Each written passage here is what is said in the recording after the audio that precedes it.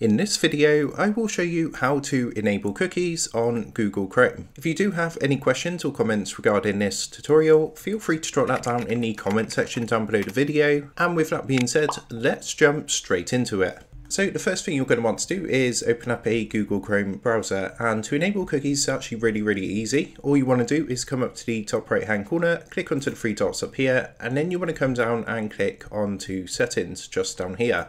So that's going to take you across to a page like this and what you're going to want to do from here is come over to this menu on the left hand side and you want to click here where it says privacy and security. Next, what you want to do in the privacy and security section is you want to locate the third party cookies option just here.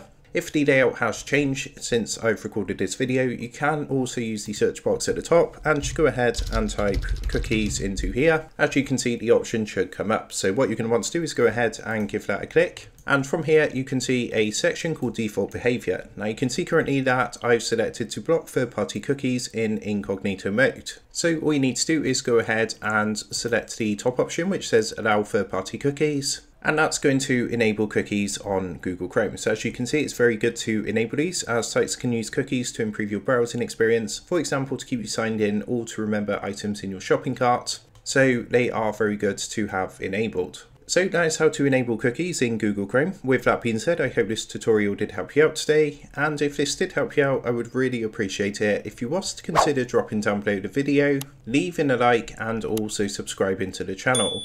With that being said, I just want to take a minute to thank you guys for watching this quick tutorial, and I will see you in the next video.